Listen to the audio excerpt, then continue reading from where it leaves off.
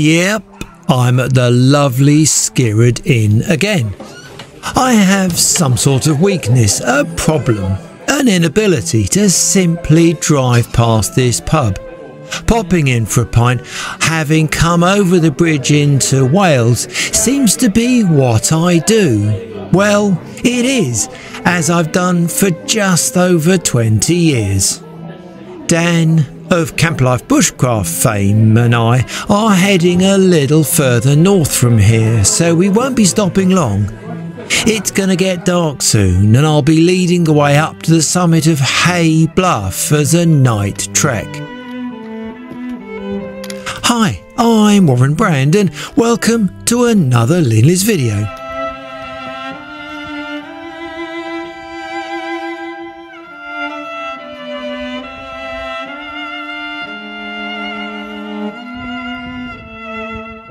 I've parked near to the Gospel Pass in the car park, and by the time we set out to face the ascent, the sun has disappeared, and we're left with a warm glow in the sky. The evening air has a chill though. Autumn is on its way.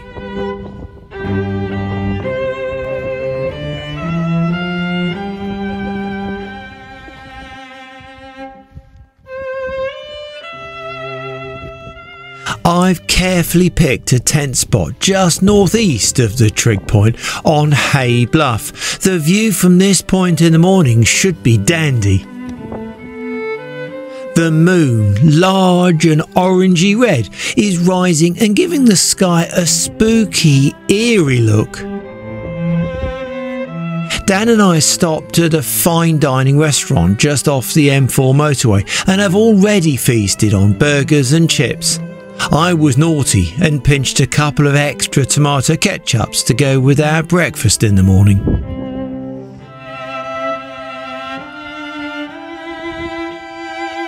Before bed, though, a mug of hot chocolate with a good dousing of rum is a fine way to conclude the evening.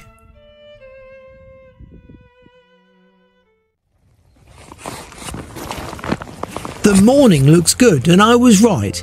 The view from here over the lovely Wye Valley, looking north, is grand.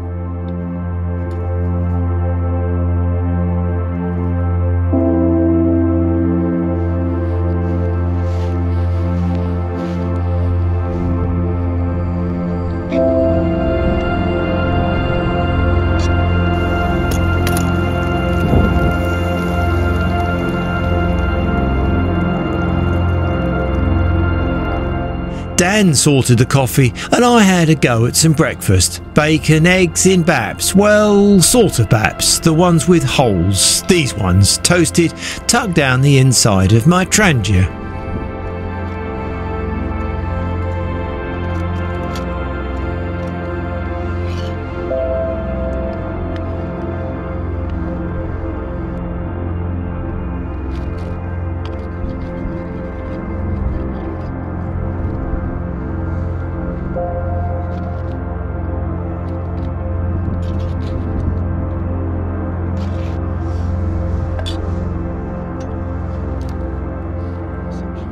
We're not in a rush. There's time to enjoy the views and pack up really slow.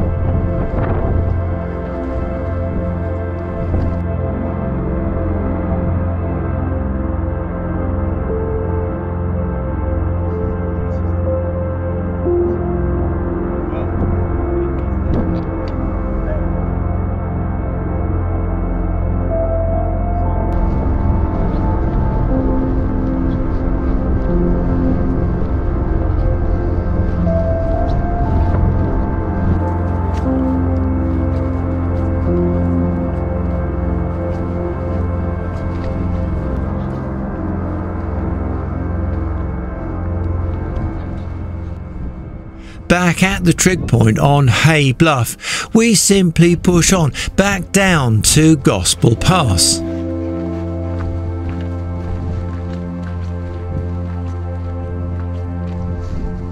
The wind conditions must be just right for hang gliders. There are several standing ready to launch on the edge and several more already in flight above.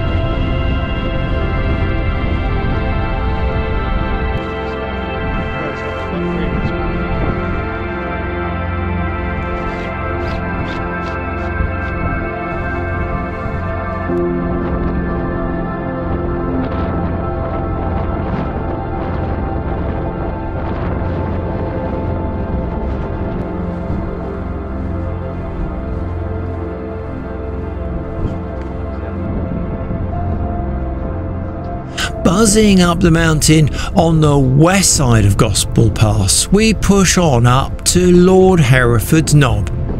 I camped here before, maybe you've seen my video from that trip already.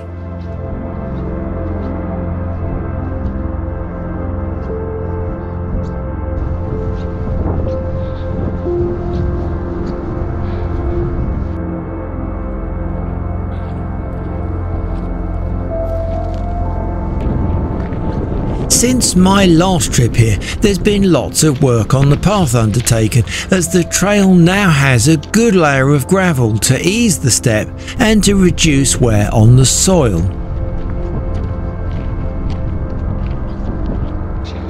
Yeah, always. A lunch stop is next and I'm simply heating up a large tin of soup on my Trangia. I have some extra alley strips cut and shaped for this purpose.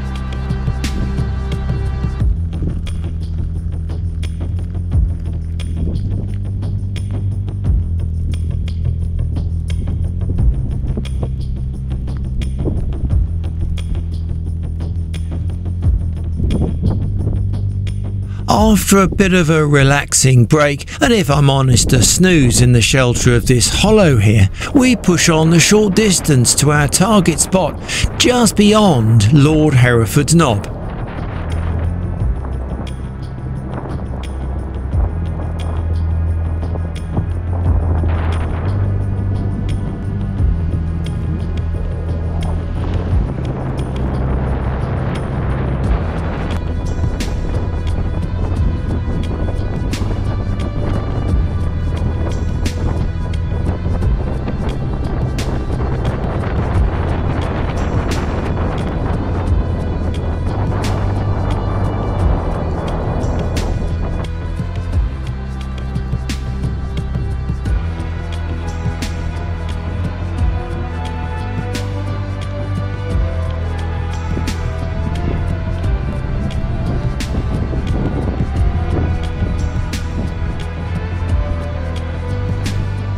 Dan wants a flat lay this evening, so takes the trouble to test the patch of ground before pitching his tent.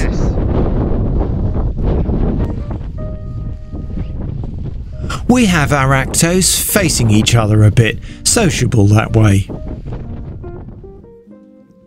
It looks like we're on a path. Well, technically we are, but the track is not the main path, which is about 25 metres further back from the edge.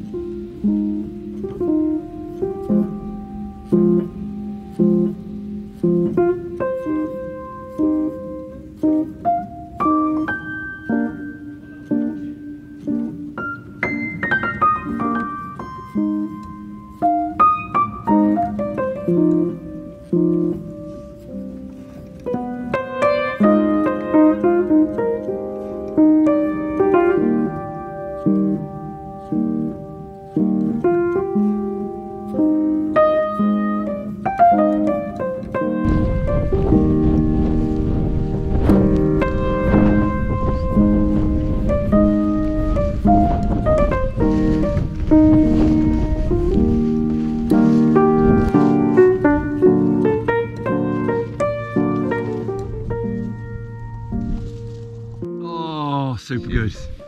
It's been a hard day. He was asleep for about an hour. Would you like No, no, an apple crumble? I could do. Might spoil my dinner. We're not eating yet. Yeah?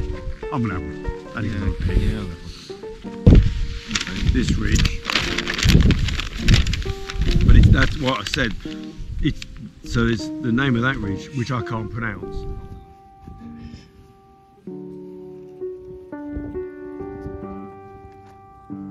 I have some easy cooked pasta and sauce for supper, and some apple crumbles and custard.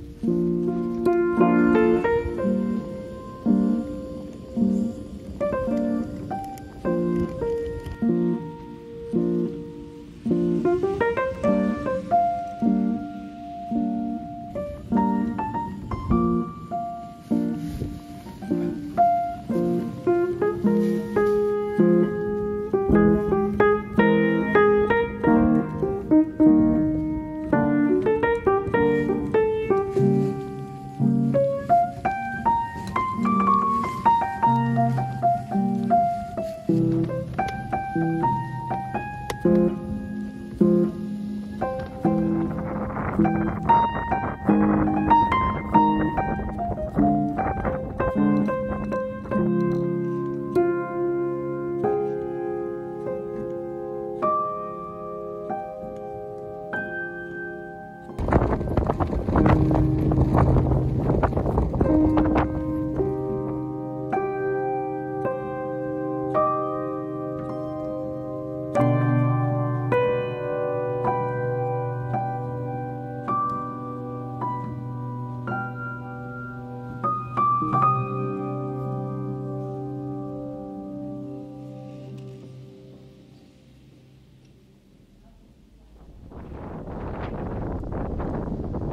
We had a really good night out under the stars, but Danny's dead keen to have a very special breakfast in the well known fine dining restaurant just off the M4. So at dawn, we've packed up and are trekking back towards Gospel Pass.